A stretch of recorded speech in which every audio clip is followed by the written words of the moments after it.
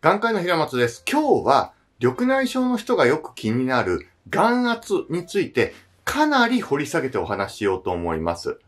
眼圧によって皆さん一喜一憂すると思うんですよ。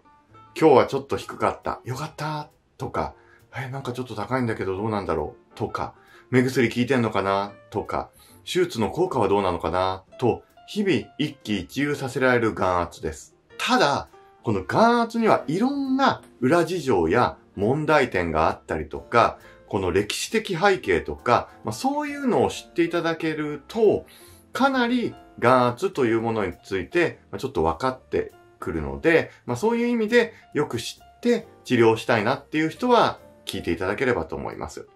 逆に、まあ、いいからズバリ良くなるものだけ教えてよって方は、今日の話はすごく知るためには大切なことなんですけども、うん、ちょっと話も長いので、まあ、そういう方は、まあ、あの、他の動画を見ていただければと思います。ということで、ちょっと、つらつらと、あの、お話ししてきます。あの、今までみたいにカチッとこう、やるっていうよりは、僕が思うこととか考えること、そして眼圧ってこんなもんなんだよっていうのを伝えながらお話しようと思います。そもそも眼圧ってすごく不安定なものなんです。それは、まあ他の動画でもお話してますけれども、眼圧というのは日によっても数値が違います。時間によっても数値が違います。体調によっても数値が違います。はたまた水分取った取らないとか、緊張状態とか、それによって数値が変わるんです。じゃあ意味がないかっていうとそうじゃないですよ。血圧だってそうじゃないですか。すごく食べ過ぎたり、体調不良だと血圧上がったりとか、またよくお医者さんの前だと血圧上がっちゃう人がいたりとか、そういうふうに不安定なけども、まあ、指標として使えるものなので、使ってるっていうのが今の眼圧なわけなんですね。ただ、僕としては、眼圧にはいくつか問題点といろいろはらんでるなって思うところがあります。うん。まあ、ちょっとそれをお話しとくと、まず眼圧の最大の問題点は、その数字が本当に緑内障にとって最大の問題なのかは、本当はよくわかってないってことです。どういうことか。もちろんね、眼圧を下げた方が進行を食い止める。まあ、ここまでは事実なんだけれども、じゃあ、緑内障を悪くしている本質は眼圧なのかって言われると、わかんないんですよ。もともと、緑内障っていうのは、眼圧がすごく高くて、それで失明しちゃう、いわゆる急性緑内障発作と言われている状態。これを昔は緑内障と言ってたんですよ。そっからいろいろ調べていくと、まあ、急に悪くはならないけれども、眼圧が高めの人っていうのは視野が欠けていくよね。っていうのが次に言われた緑内障なんですよ。で、さらに言われてきたのが、あれ？眼圧が正常な値でも、やっぱりダメージを受けるんだな。だから下げといた方がいいんだなっていう風に、緑内障っていう意味が、最初は狭かったのが、じゃんじゃんじゃんと拡大してきたんですよ。もともとは確かに、眼圧が正常じゃない人に対しての治療をほとんど行ってたんですよ。それってそんなに昔ではないですよね。30年前とか。ぐらいだと、もうそういうもんで、眼圧正常な人は緑内障じゃないって言われてたんですよ、昔は。そういう時代にとって、眼圧は緑内障、緑内障は眼圧が高いもの。これで良かったんですよ。ただ、正常眼圧緑内障というわけのわからない定義が出てきて、いわゆるこう、眼圧は正常だけども悪くなりますよって言われるようになってきたから、まあそうと、これわけわからんと。で、そこで思うのが、そもそもその正常眼圧緑内障って、今まで言う緑内障と確かに神経の形や視野の欠損の仕方は一緒なんだけど、全く一緒と取っていいのっていう話だし、もっと言うと、本当は緑内障は眼圧を下げれば進行しないのは分かってるよ。分かってるけど、それって表面的ななんかなんじゃないの？例えば、眼圧が高めなことによって何かが起きて、で、結果神経が死んでるとか、まあそういうこともあるんじゃないの？っていうのがあるんですよ。で実際、眼科の中でも眼圧が高いことによって神経がダメージ受けます。って簡単に言ってるけど、じゃあなんでってことをみんな研究してて、眼圧が高いことで血流が途絶えたり悪くなんじゃないか？という説や、眼圧が高いことによって、細胞死って言って、細胞がなんていうかな、自動的に死んだりとかするようなシステムがあるんだけど、まあ、そこがこう加速してしまって悪くなるんじゃないかなとか、まあ、そういうのとか、あとはエンドセリンとかって言って、血管をキュッと締めるものとか、まあ、そういうのが影響してくるんじゃないかなとか、あとはケミカル、あの、要は、なんていうかな、圧力によって化学物質というかな、生理活性物質というね、なんか物質が出て、それによって悪くなるんじゃないかなとか、諸説あって、なんだかよう分かってないんですよ。なんですけど、まあ下げりゃ進行止まるから、まあ眼圧で見ようよって感じの結構大雑把な治療なんですよ。そもそも言っちゃうと。でもそれ言っちゃうと、なんかこう、医者の信頼度いまいちじゃないですか。だから、なんか分かったふりして、眼圧が原因です。みたいな顔してるんですよ。はたまた、そこまで分かってもいないで、きっと眼圧原因な、原因なんだなって素直に思っちゃってる医者も多い。うん。上に教えられたからみたいな、そんな感じで。まあ、そんな感じで、眼圧眼圧って言っちゃってるんですよ。まあ、私も眼圧の治療をメインにしてますよ。メインにしてるけども、まあ、生活とか、いろんなことを言ってるのは、うん、でも眼圧だけじゃないよねって思ってるところがあるわけです。で、二つ目としては、その眼圧、真の眼圧ってことなんです。つまり、眼圧を測定するときに、まあ、空気のブシュってやつ、ね、ノンコンタクトトノメーターとか、あとは医者がチップであるゴールドマンの眼圧計。一応、定義上は、医者がチップである、えっ、と、ゴールドマンの眼圧計、これが正しいとされています。でもこれは、真に目の神経にダメージを与えるのと関係しているかは全く意味ないんですよ。じゃあなんで目薬して医者でチップがやるあれが正確だと言われているか。なんでだと思います、しょうもない理由なんですよ。最初にそれを眼圧と決めたからなんです。つまり、もうなんか矛盾するようだけど、これを眼圧と決めたからこれが一番正しい眼圧ですっていう、そういう感じなんですよ。そう決めちゃったんだもん、みたいな感じです。でもそれって、僕らにとって、どうでもいい話ですよね。最初にどう決めたかなんてどうでもよくて、緑内障の治療にとって最も関係するもの。それが空気の眼圧の方が抑えた方が治療にいいんだったらそっちで行くべきだし。はたまたアイケアみたいにこうチップにピピピってやるのがいいんだったらそっちで行くべきだし。あとはサイクロ G6 とかって言って、まあ、弾力性を見るような検査が良ければそっちで行くべきだし。それでちゃんとどれが一番緑内障の進行に関連しているかっていうのをきちんと検討すべきですよね。べきなんです。それは分かってるんだけれども、その検討をする研究って膨大なエネルギーが必要なんですよ。多分数千人の患者さんを何年間か見て、進行との関連性を見るって研究が必要になると思います。にもかかわらず、新しい薬なわけでもないので、多分製薬会社とかのお金とかも出ないから、その数千人を何年間見る研究の研究費を出せるとこなんてまあほぼないんですよ。なので現実それが調べられてないっていうしょうもない裏事情があるんです。だからもう便宜上、もう今までこれで眼圧って言ってたから、目薬して医者がやるチップ、これを正確な眼圧としましょうよと。余計なこと言うなよと。これが今の現状なんです。申し訳ないけど。うん。どうかと思うけど、でもしょうがないよ。だって僕個人もそんなことできる資金力もないし、余裕もないので、そんな1000万とかでできるレベルじゃないからね。うん。1000万もないけど。あの、なので、無理なんですよ。って考えると、まあ、しょうがないから、まあね、あのチップを一つの眼圧としましょうよと。してると。じゃあ、そのチップの眼圧でさえ問題点があって、例えばレーシックしてる人は低く出るとか。だからその時は、角膜してる人に見ましょうとかなんだか言うんだけど、じゃあ何が正しいのって感じになっちゃってるっていうのはありますよね。そして、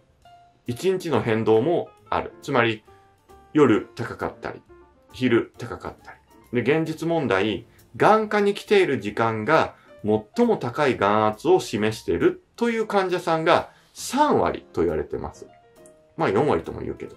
まあ、要は6割、7割の人は眼科で測ってる眼圧は参考値なんですよ。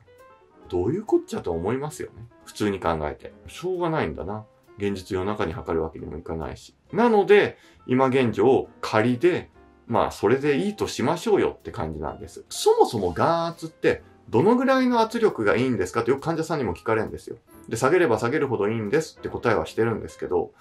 こっから先が、ちょっと僕の考え方だし、ちょっと頭に入れてほしいというかな。一つ。眼圧ってじゃあ、20でダメージ受ける人もいれば、10でダメージ受ける人もいるんですよ。その差はどういうことかっていうと、おそらくね、例えば、8ぐらいまでの圧だったら大丈夫。勝てるって神経がいるとしますよ。だとすると、6、7、8の眼圧だったら、この人はノーダメージなわけです。9、10ってなると2分ダメージ受けるわけですよ。ね。で、20になれば、えっ、ー、と、8から20だから12分ダメージを受ける。っていうことになりますよね。だから、この自分が耐えられる圧力の値があって、そっからどんだけ飛び越えてるかっていうことが、その人の神経のダメージを決めるってことになるんですよ。伝わります？で、にもかかわらず、眼圧は1日に波があるんです。さて、そこで仮に、まあ、こんな感じのグラフ。これがね、眼圧の値が1日にこんな感じで波を描いてると思ってください。ね。で、まあ大体診察に来るのってこのぐらいのまあまあ、そんなに高くない時期に来るわけですよ。ね。で、本当だったら、まあじゃあ例えばここが、ここがね、この線より上に行くと、あなたの眼圧によってあなたの神経がダメージを受けると仮にしましょうよ。ね。で、普段診察の時の眼圧、ここがね、14。であなたがダメージを受ける数字が13だとすると、一分ここでダメージを受けてるなってわかるわけです。でも、本来的にはこっちの方がどう考えても問題だと思いません？ね。例えば、夜寝てる時の眼圧が20とか、朝方21とか、まあ、こんな感じの値だとしたら、これ20ある時、こっちのダメージの方が大きいわけじゃないですか。って考えると、ここの数値で見るのはどんだけ意味あるのかなと。もちろんね、この山が毎日このままの形だったら、これを全体下げてあげれば、この線が上がるのと一緒なので、まあ結構ダメージ減りますよね。だから、とりあえず、本当の数字は別として、まあ、この数字が下がってくれればダメージ少なくなるよねって、まあ、こんなイメージなんですよ。なかなかね、難しいです。つまり、私、つまり医療者ができることとあなたができることっていうのがあるんです。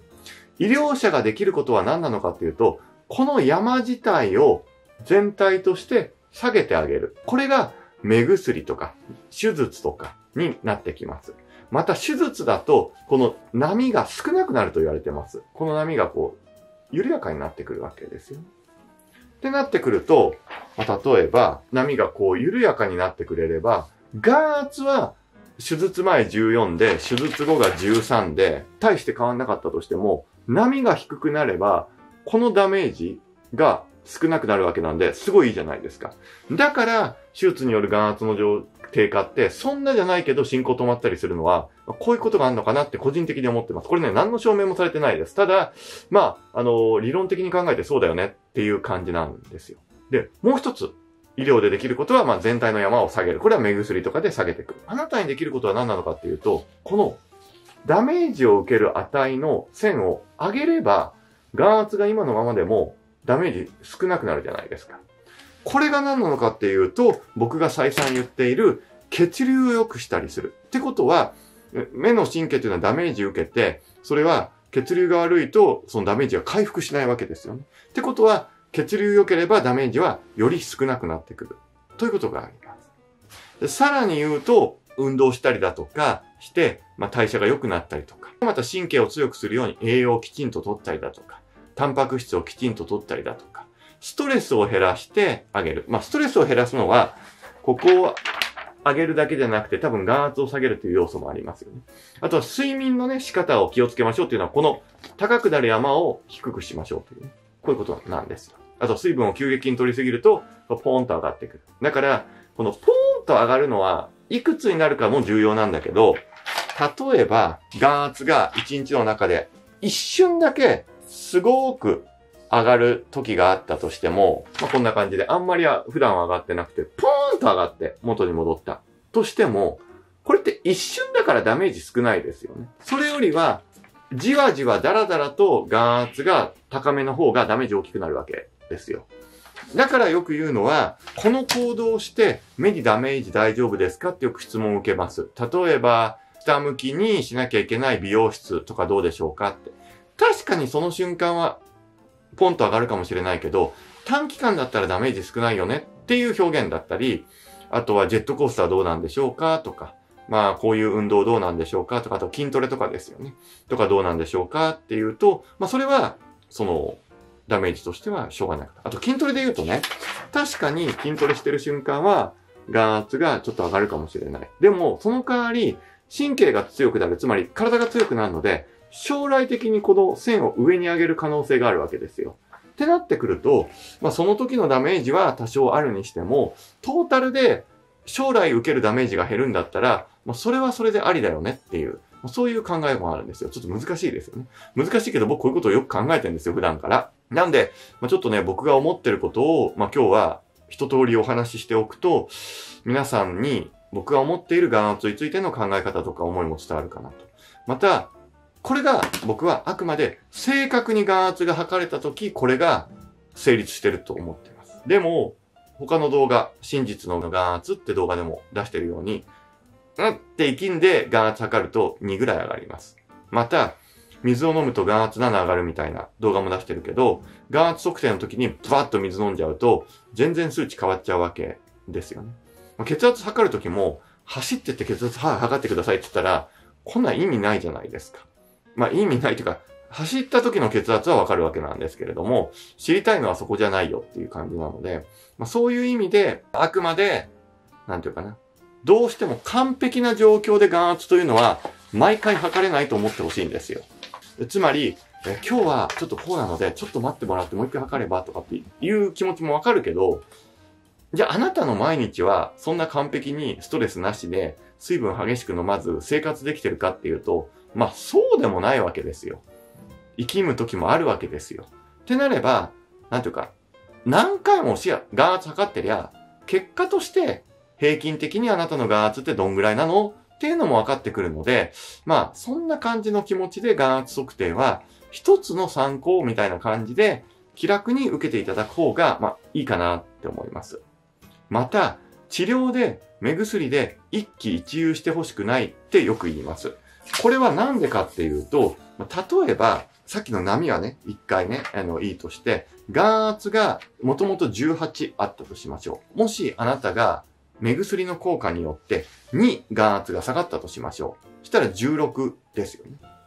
だから目薬さしたら元の眼圧が2下がる。これだったら納得できるじゃないですか。でも、さっきも言ったように、1日の中で眼圧は上がり下がりし、季節の中で眼圧は上がり下がりし、で、えー、生きんだりで眼圧は上がり下がりするわけですよ。ってなると、目薬の効果2とか、だいたいね、目薬って、あの、ルミガンとかああいう強い系を抜くと、2とか3とか効きゃいい方なんですよ。特に2本目とかの目薬になると。ってなると、2の目薬で、ちょっと生きんだら2なんてすぐ吹っ飛んじゃうんですよ。だから、新しい目薬に変えて1回眼圧測って同じ数字だから、なあ、全然一緒じゃないのって思うと、本当は下がってるのに、そのお薬が効いてないと思ってしまうことになります。これは大変もったいないです。なので、何回か眼圧を見て、本当にこれは下がってないのか、何回も測りゃ平均的にわかるんで。で、何回も測っても 全然変わってないわってなったら、まあそれは効いてないでしょうという感じと思って目薬は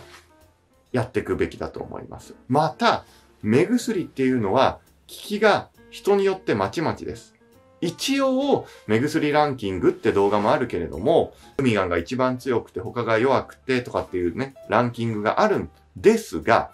あくまであれは平均です。なので、ある人はルミガンがめちゃくちゃバッチリ効けば、ある人はルミガンはさっぱし効かなくて、キサラタンの方が効くよねとか、結構ザラにあるわけですよ。ベストな薬を出してくださいっていきなり初心で言われても、それ無理探していくしかないよねっていう、こんな感じです。さらには、目薬のアレルギーっていう問題も出てきます。特にアイファガン、グラナテック。まあ、ここら辺はアレルギーが出やすいです。そのアレルギーって患者さんとしては、目薬してすぐ出るって思うじゃないですか。でもそうでもないんですよ。3年後出てくるとか、数ヶ月後出てくるってことも結構ザラにあるんですよ。え、なんでって思うかもしれないけど、アレルギーって急に出るアレルギーと蓄積してなるアレルギーがあるんですよね。蓄積してなるアレルギーの代表例って花粉症ですよ。赤ちゃんの頃からアレルギーじゃないじゃないですか。でも、ピーナッツアレルギーとかああいうのって、赤ちゃんが食べた瞬間もうアレルギーになっちゃうわけですね。つまり、花粉症みたいに、ちょっとずつ蓄積してって、あるポイントでアレルギーになっちゃうってあるんですよ。ってなってくると、ちょっと使えないお薬も出てきて、っていうのがあります。また、目薬はそれぞれ副作用もそこそこあって充血したりだとか、あるんですよ。どこまでそれを許容して治療するかっていうのも、うん、悩ましいかなっていうところがあると思います。レーザー治療に関しては、まあ、これもまた100%効くわけではなくて、7割方って僕言ってますけど、まあ効かない人もいる。だからもういろいろね、試し試ししながら治療をやっていくしかない。で、緑内障の手術に関しても、めっちゃくちゃ効く人もいれば、えー、なんでこんなに効かないのって人もいるんですよ。全く同じように手術をしてるわけですよ。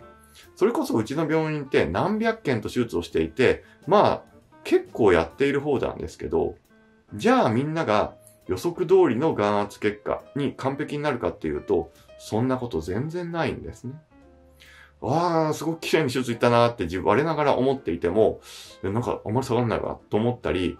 んーんかちょっと今の効き悪そうだなと思ったら、意外と綺麗に弾いてて、かつ完璧じゃないのっていうこともあったりして、やっぱ人間ってそういう意味で、うん、難しいかなって思います。だからそれを見ながら調節していく。だから緑内障の難しいのって、手術がうまければ完璧なわけじゃないんですよ。手術がうまくても、その後の目薬やいろんなメンテナンスが悪くてボロボロ悪くなってるって人もいるし、ま、手術がそうでもないんだけど、いろんなメンテナンスでうまいこと言ってる人もいるし、まあもちろん両方がいい方が一番いいんですけどね。だからそういう、まあ、なかなか難しい側面もあるかなって思います。一応眼圧に関しての点としては全体なんですけど、あと一応最後に気をつけておいてほしいのは、なんとか治療の自費治療っていうのが緑内障では結構出てきたりします。うちの完璧な世界最先端レーザー治療だとよく治るとか、なんとか点眼をすると良くなるみたいに言ってるところもありますけども、まあ、別にやるのは構わないけど、大抵そういうところはね、眼圧の治療が結構おろそかなんですよ。個人的な感想として。だから、いやいやいや、その治療の効果より普通にもうちょっと眼圧下げてあげればよかったのにって言って悪くなってから来る方が多いので、ちょっとそこはちょっと注意しといていただけるといいかなっていうふうに思います。ということで、眼圧についての、まあね、これ日本に限らないんですよ。世界の問題点で、もうちょっとね、みんなが研究をしやすい環境があると、真剣に治療ができるんだけど、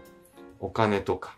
あとは論文を作るとか、論文を作らないとやっぱり大学として難しかったりとかするんですよ。論文作りやすいのって、眼圧なんですよ。つまり、いわゆる医者がやるチップの眼圧で論文作った方が論文は通りやすいんです。それ以外のことをすると、なんじゃそれって言われるし、実際本当に重要なのはあなたの視野がいいか悪いかじゃないですか。なのに、眼圧が下がったかどうかだけをやる研究がほとんどなんです。なぜかというと、その方が論文になりやすいから。で、通りやすいから。だから、もっと言うとね、目薬して眼圧下がったら、絶対視野が止まりますかっていうと、本当は微妙だと僕も思ってるんです。これどういうことか。普通に考えたら、眼圧が下がれば視野の進行が止まるよね。でも、何らかのメカニズムによって、眼圧を下げたことによって、まあ、いわゆるこう、風が吹けば、桶屋が儲かる的に、なんか変なことが起きちゃって、意外と視野が進行しちゃう可能性もあるじゃないですか。逆に眼圧は大して下がってないんだけれども、血流良くなったりなんなりで視野が進行しない可能性もあるじゃないですか。だから、本当は目薬の効果って眼圧で見るんじゃなくて、視野が止まったかで見るべきなんですよ。なんだけど、視野が止まったかっていうのの確実な証拠がある目薬って、キサラタンぐらい他はほとんどないんですよ。じゃあ他が効かないかっていうと効くよ。効くんだけど、それどうなのって個人的には思うわけだよね。論文にしやすいとか、まあ、それで言っていいのかなーって、もっと視野が止まるという、みんなの幸せをちゃんと考えた研究ができる環境に世の中がなると嬉しいんだけど、そこが本当はごまかされたまま、今の医療は日本だけじゃないよ。世界は進んでいるのが、ちょっと残念だなーって個人的には思います。今後、AI とかいろんなのが進んでくれると、まあ、その研究コストが下がって、今までみたいに眼圧が下がっただけで一喜一憂するんじゃなくて、眼圧は下がってないけど視野が止まったよ。とか、眼圧は下がったんだけど視野は全然止まってないよとか。まあ、そこら辺も分かってくるかと思うので、まあ、そこら辺の研究にちょっと期待して。そんな文句言うんだったら、お前が研究しろってよく言われるようなもんなんだけど、そう、あの、タブーなんだよ。今の眼圧に文句を言うのって。うん。っていうので、その幸せが皆さんに来ちゃって、眼圧眼圧って毎日思ってしまって、気に病んじゃったりしてるので、うん、まあちょっとこういう動画をしっかり出してみようかなって思いました。まあ結構長めにダラダラと話してしまったんだけど、まあ、こんな感じで眼圧には正直言って問題点が結構ある。問題点があるんだけど、仕方がないからこれでやっていくしかないので、私もやってるし、多くの人がやっている。ただ、その問題点を分かっているのと、分からず本当にこれがいいもんなんだって思っちゃっていると、それは足元救われちゃうなって思うんです。ほとんどの医者がこれは素晴らしいもんだって思っちゃってるんですよ。こういう背景はなんとなく頭にあるんだけど、それに真剣に向き合う時間も気持ちもない、ないというかな。なかなかそういう向き合うのって結構辛いことじゃないですか。今まで信じている眼圧という指標を失うわけだから。